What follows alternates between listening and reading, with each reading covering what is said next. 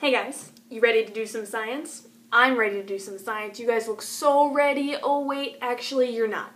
Because first we have to talk about safety. Now, lab safety is our number one concern in the biology classroom. Biology is hands-on science. We're going to be doing lots of labs all year long. But first we got to go over our safety guidelines for the biology classroom. Now, after this video, I'm going to give you a student safety contract. You're going to take it home, read it over, and sign it with your parents and bring it back here. Once it's back in the classroom, you are ready to perform any lab we do all year long. You ready? Okay, rule number one. You are to conduct yourselves at all times in a responsible manner in the biology classroom. So that means don't act like this.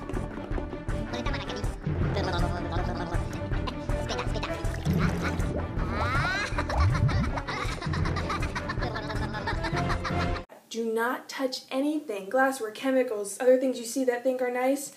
Don't touch them until I tell you to do so or your procedure tells you to. So basically, Rule number one you will not touch anything. Uh huh. What about the floor? Yes, you may touch the floor. got it? Okay. Now, do not eat food, drink beverages, or chew gum in the biology classroom. Something may look like food, but it's not. Something may be food, but we're not using it for food. It could be a model for something, and it's candy, and you really want to eat it. But if you eat it, we won't have enough for the other classes, and maybe the classes before put their gross fingers all over. You're eating boogers and germs, and it's just gross. So don't eat food during the laboratory. If it's food, if it's not food, don't put it in your mouth. You can see something, it's like, oh, look, this looks like a nice purple smoothie, but it's actually a chemical. I think I'm going to drink it anyway. Oh. That could happen. So, stay away. Don't put anything in your mouth during a laboratory, please. Okay, okay. Through. Okay, perform only experiments that I have told you to do so. Don't go mixing up with chemicals. Don't go playing with things if you are not instructed to do so. That can be very dangerous. There's a lot of really cool equipment in here, but if you use it the wrong way, you could break it, you could hurt yourself, uh, or you could hurt others. Okay? Good.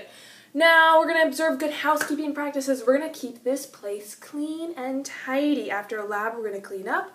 Before a lab, we're going to make sure everything we need is there so we don't go rummaging around later. And we're going to keep only the things we need for that lab on our work area. Uh, know the locations of all our safety materials. For example, we have a fire blanket. Who can spy the fire blanket? Where's the fire blanket? Oh, I see it. Anybody see it? Be alert and cautious at all times in the laboratory. If you see something that looks a little off, you're going to let me know. I'm going to tell you if it's for a lab or if I need to take care of it. Now, very important, dispose of all chemical waste properly. So, we have our uh, smoothie, not a smoothie here. And I think I'm just to pour it down the drain. Okay, here we go. Pouring down the drain. Oh, no. Boom. Explosion. Okay, so you don't want to pour anything that's not water down the sink. And before you pour something that looks like water down the sink, make sure it's water. Could be bleach, could be something dangerous. You never know. A lot of things look like water and they're not.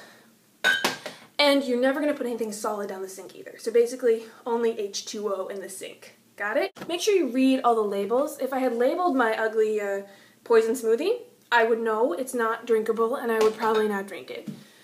Hopefully you wouldn't either. Okay, keep hands away from face, eyes, nose, ears, mouth.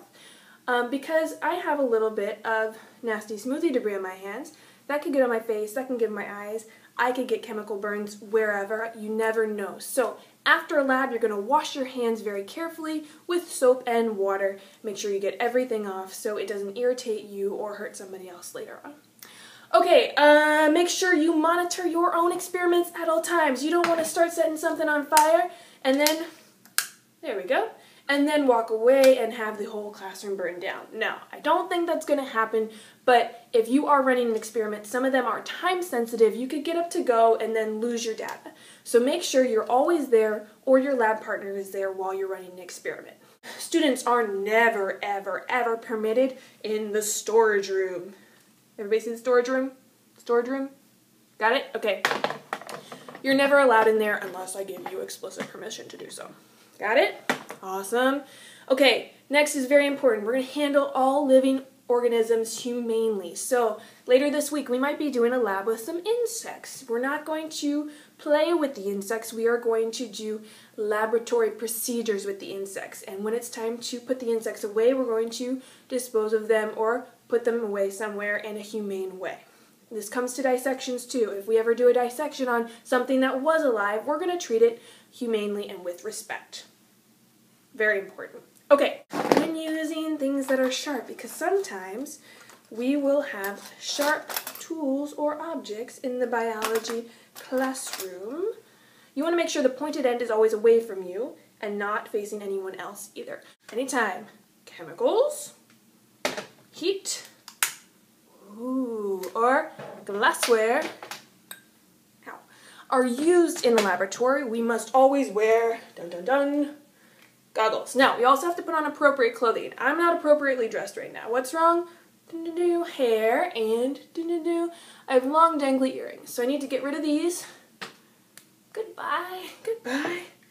I need to put up my hair. And if I did have on baggy clothing, I'd have to take that off too. Now, all of these things can disrupt us during labs. It can make our work dangerous, and uh, it can also catch fire. So, very important to get rid of these. If you're not properly dressed for a lab, I'm going to ask you to do the things that I just did. Take off the earrings, put up the hair, tuck in any baggy clothing.